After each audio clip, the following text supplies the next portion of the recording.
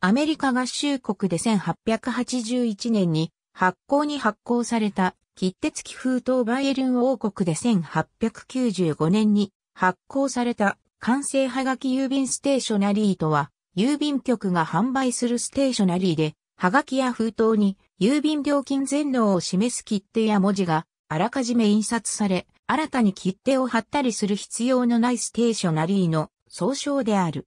はがきや郵便書簡、特定封筒郵便物などもその範囲に入る。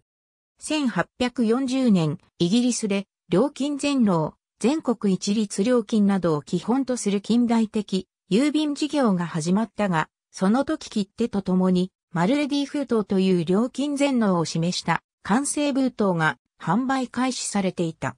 しかし、この完成封筒は込み入った図案で、宛名欄が狭く使いにくいという欠点があり、切手の方が簡便であるとして、広く受け入れられた。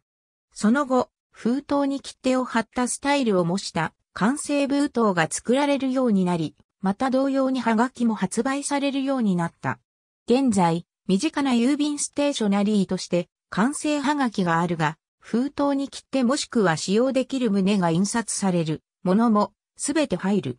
そのため、郵便書簡のように折りたたみ式の便箋券封筒の内印面が印刷された郵便局販売のものも含まれる。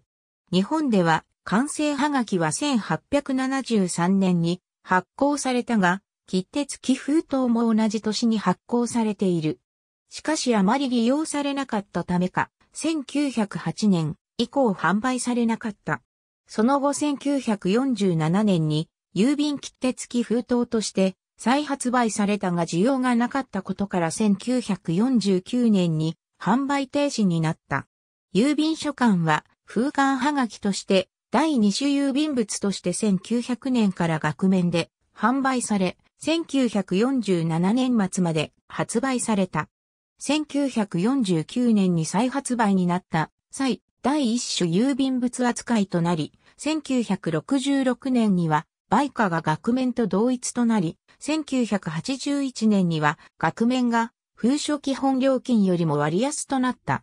それによりハガキよりも高いものの封書基本料金よりも安い料金で合計 25g までの薄いものなら同封することができるため2013年現在も販売されている。日本の郵便局で販売されている郵便ステーショナリーとして前出のハガキ、郵便書簡、レターパックのほか国際郵便用の航空書館がある。